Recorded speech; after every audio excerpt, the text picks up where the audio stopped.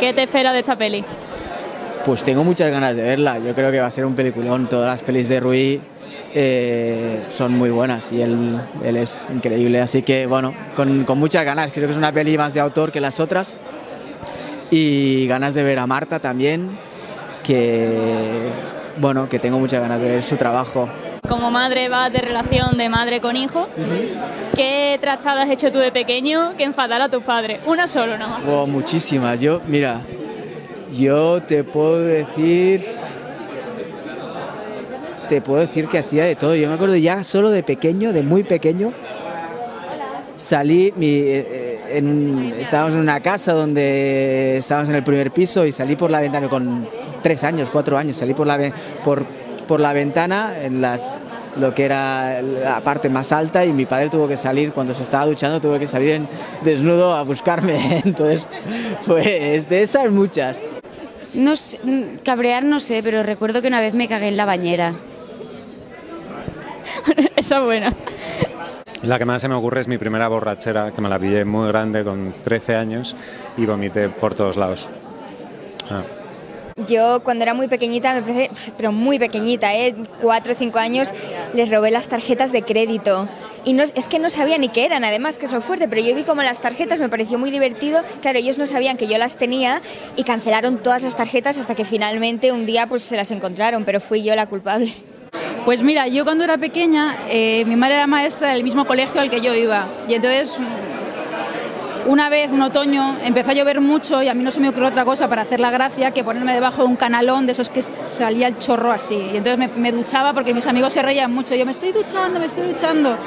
Claro, mi madre estaba trabajando en el colegio, con lo cual se enteró a los dos minutos y medio y me cayó la bronca del siglo. Trastada, uff, trastadas muchísimas. Para empezar, lo primero que se me viene es, eh, mi madre se dedica al textil y siempre íbamos a una tienda, bueno, tiendas donde hay telas por metros. Entonces yo siempre me quedaba como debajo de los mostradores, debajo de las piezas de tela. Y bueno, ella me buscaba y yo pues estaba ahí con, con, mis cosas y siempre, siempre una de las cosas como más recurrentes era perderme.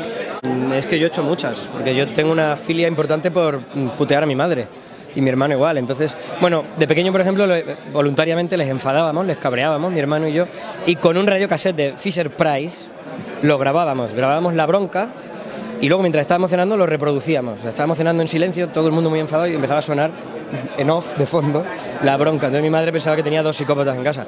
Bueno, esta, por ejemplo. ¿Puede igualarlo o superarlo? No, no, yo fui buen, fui buen, buen chaval. Sí recuerdo muy pequeñito y ahora que yo soy padre, eh, me espelunda pensarlo. Con, con, tres años me llevé a un amigo, como yo era el mayor, me llevé a un amigo de dos años a dar la vuelta donde me llama mi abuelo eh, por Alcoy, hombre, que es una ciudad pequeña, una ciudad, pues me fui, no sé, a un kilómetro por ahí paseándome por la calle con, con mi amigo pequeño, ¿no? Que, pero él tenía tres y yo cuatro, no sé, algo así. O sea que es, es muy bestia, ¿no? Pero, en fin, sí, es lo que sí, me imagino, yo no soy padre, pero me imagino que para un pelote padre... Y, y, vamos. ¿Vosotros qué habéis hecho que habéis enfadado a vuestros padres alguna vez? Bueno, a ver, um, uf, es que hay bastantes, a ver. La más interesante o la que a ti te haya hecho más gracia. Pues, a ver, a ver, algunas sí. Sacar malas notas. Bueno, a ver, malas, malas tampoco, pero bueno, alguna que otra sí que ha habido. Hay que reconocerlo, a ver. ¿No habéis hecho nada de escaparos, perderos, no, no se pinta las paredes? Escaparnos ni... no, pero... Nosotros somos muy buenos. Pero sí quedarme un poquito más tarde, a lo mejor, de, del tiempo que me habían previsto mis padres para terminar de quedar y eso. O jugar a la consola también. Bueno, bueno... No, son, en general son bastante buenos. Lucía mejor que Álvaro. Álvaro tiene sus días. Pero, pero, pero, ¿Pero por qué? ¿Pero por qué? No, Lucía es buena, Álvaro regular. Pero está mejorando.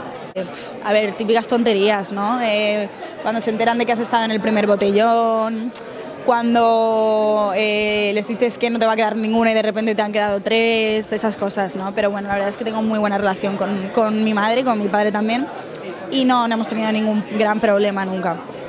Joder, un montón. Eh, pues mira, cuando era pequeño tiene un petardo en un centro comercial que la peña se pensó que era una bomba y tuvo un jaleo importante ahí con los, con los del centro comercial.